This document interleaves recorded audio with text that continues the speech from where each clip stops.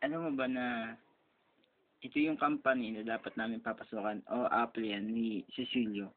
Pero alam mo ba, sabi niya sa akin, ah, pag mag-apply ka, kailangan i-resource mo muna yung company.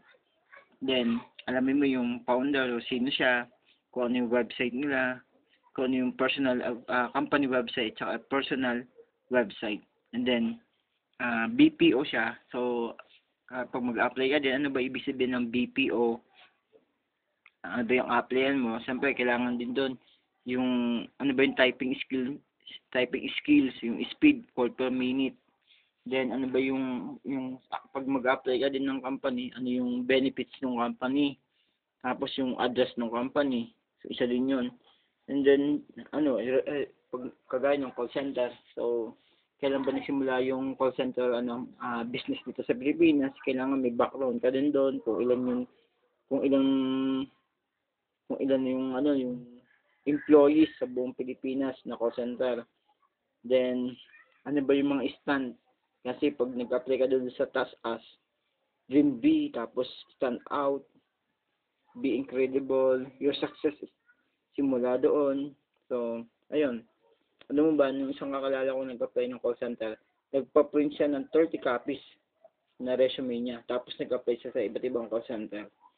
Kasi yun, ah, ano, walk-in man siya. Napaka-aggressive niya. Kasi, nung time na yun, 2017 siya nag-apply.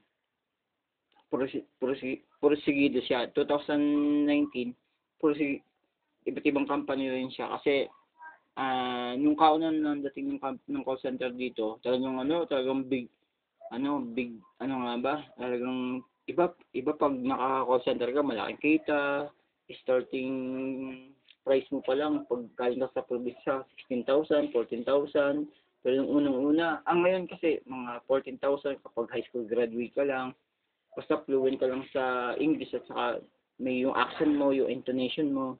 And then, ah nung iba naman, meron mga training center naman sa Quezon. And then, pag galing ka naman sa mag, ano, kilalang school, ang bilis makapasok. Yun. Nung time na yun, ah, ito yung ano, ito yung mga tip na dapat applyan. Kailangan alam yung ano ba yung company, yung founder, yung address, at saka yung mga ganun-ganun.